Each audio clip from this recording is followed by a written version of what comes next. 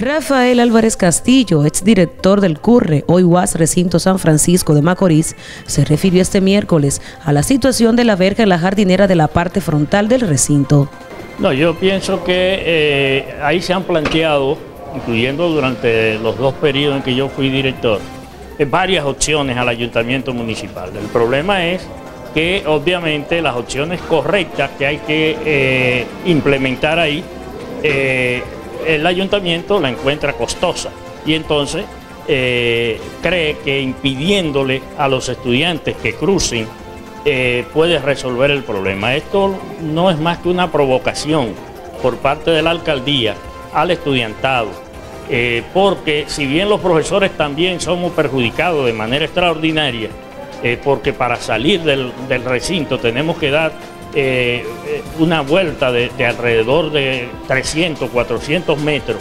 Eh, sin embargo, eh, todos sabemos que los estudiantes tienen formas de protestar que muchas veces no son las más correctas, pero son las que los funcionarios provocan cuando asumen actitudes de no escucharlo, de no atenderlo, porque ¿quién ha dicho que ninguna eh, institución, ninguna familia puede vivir en un lugar donde no tenga salida por el frente. O sea, ahí no hay salida por el frente. Ahí lo que se ha convertido ahora el Curnes en un corral, que usted tiene que dar una vuelta eh, por la parte trasera para poder salir.